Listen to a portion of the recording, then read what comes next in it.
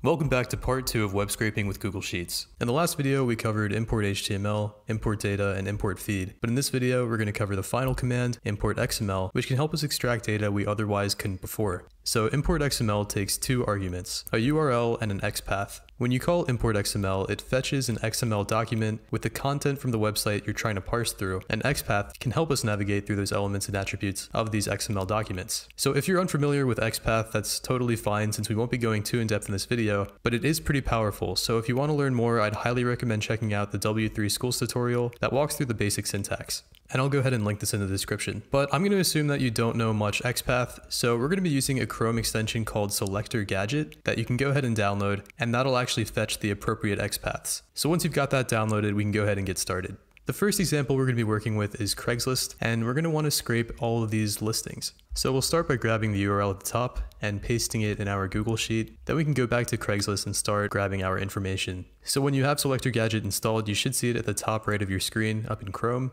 You can click on it once, and now as you move your mouse over your browser, you'll see different elements on the page being highlighted. Essentially, if you start clicking on data, Selector Gadget will try to interpret what you're trying to select and then generate a tag associated with all of that information. So for this example, we want to grab the listing name, the price, the date, and the location in parentheses. And the quickest way to do this, instead of breaking that up into those four different categories, we actually want to click on whatever parent node that contains that information. So in this case, instead of clicking on just the text here, that would only get us the names of the listings, but it wouldn't get us the other information. So I'll clear that selection and instead try to click on the container that contains all that information, which looks like it's down here. So I'll click on that once and you can see all these yellow boxes populate and it includes the name of the listing, the date, the price, and the location. So once we've got our appropriate data selected, we go down to the bottom right where it says XPath, and then this box will pop up. We'll copy this information, hit OK, and go back to our spreadsheet and paste that in a cell. So now we can call the import XML command, pass in the URL as our first parameter, and our XPath as a second parameter, and we can see all the listings populate in our spreadsheet. We've got the date, the name of the listing, and the price, but also the location in just one cell. Now, if I want to get the price specifically as its own column, I could maybe do some regular expression, but I'm going to show you how we can just get the price selected with Selector Gadget. First, I'm going to format this column just so it cuts off the text, and I'll add our prices in this new column over here. So back to our Craigslist page, we'll go ahead and clear the selection.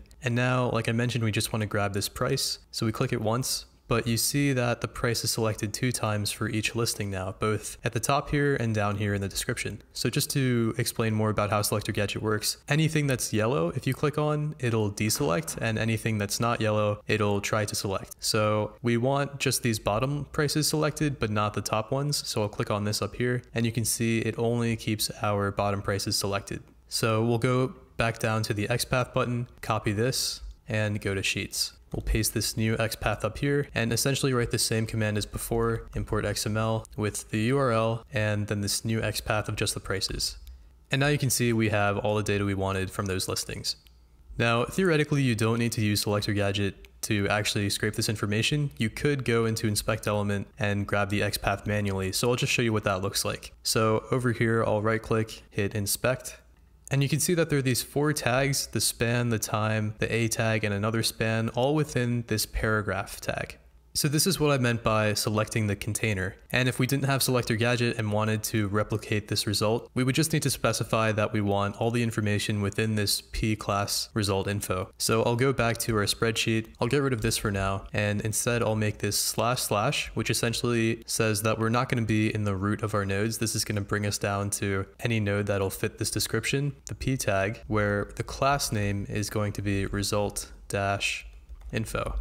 And you can see that even though these XPaths are different, they do give you the same result. Now, one thing you need to be wary of when you're scraping websites is that the data that you scrape might not contain all printable characters. And that's a little hard to see because if they're not printable, they won't show up. But essentially one thing you should do is wrap your import XML in this clean command and then wrap that in the array formula command, which you can use the command shift enter shortcut to call. And when you hit enter, it should give you the same output, but now it's removed all of those unprintable characters. So the next example is going to be TechCrunch, and I just wanted to solidify that idea of selecting the container. So we want to grab all of these articles with the headline, the date and author, and the description. So I'll grab selector gadget again, and instead of just clicking on one of these attributes, I'm going to try to find the container that has all of them. So that looks like it's up here, and I'll click once, and for some reason it's only selecting our premium content articles. So I'll click on another one of these articles that isn't selected, and now you'll see it's turned the other articles all yellow yellow. So we'll come back down to the bottom right where it says XPath, copy this,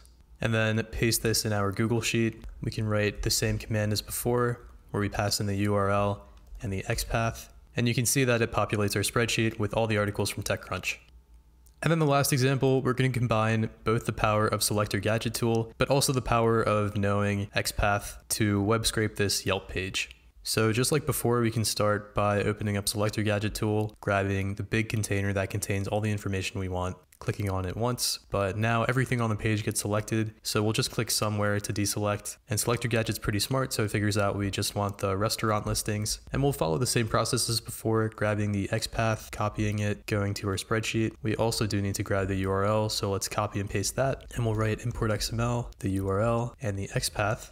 Except now Google Sheets has scraped all the information of each of these restaurants into one cell per listing. And we could do some text cleaning to separate out these texts into multiple columns, but there's a better way to do it just here. So we'll clear our selection and we'll start by just selecting the restaurant names. So let's do that first. We click on that. It also selected this more, so I'll deselect there. And now it selected burgers, so I'll deselect that. Oh, it got some pages at the bottom, so let's deselect those too. So now we'll grab this XPath, copy that, and paste that here. And these are gonna be our restaurant names. Here we go.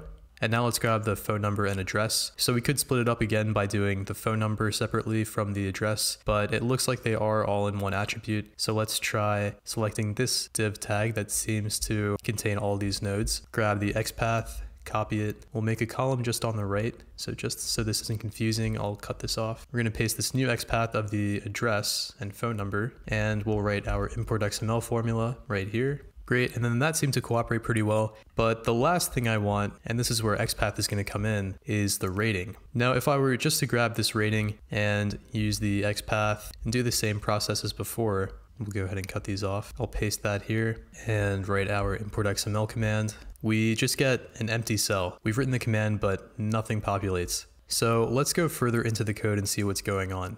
Let's right click and hit inspect element. And it looks like this is the div tag that we selected. And inside the div tag, there's the image of the stars, but there's actually no text or anything that indicates what the star rating is. We do see though that there is this attribute called aria-label equals 4.5 star rating. And if we were to go down here, inspect, we can see that it's now four star rating. So the data is there, we just need to figure out how to get it. Well, again, this is where knowing XPath helps because we can go back to our code and actually select the attribute by adding a slash at the end and then an et and then the name of the attribute we want to grab the text for, which is aria-label and I'll hit enter. It should rerun this formula down here and we'll give it a second to load. But there we go, it gives us all the star ratings. And if we just want to extract the actual numbers, we'll run our regex extract function and we can pass in slash d, then possibly a decimal, and then possibly another number. And you can see we get our data. So I think Selector Gadget and knowing XPath together can be really useful along with knowing this import XML command in Google Sheets. I certainly won't say that this is always the quickest solution, but it'll definitely be quicker than opening Python or R up in some situations. And you can do a lot of easy data cleaning just from within Google Sheets, which is another huge pro.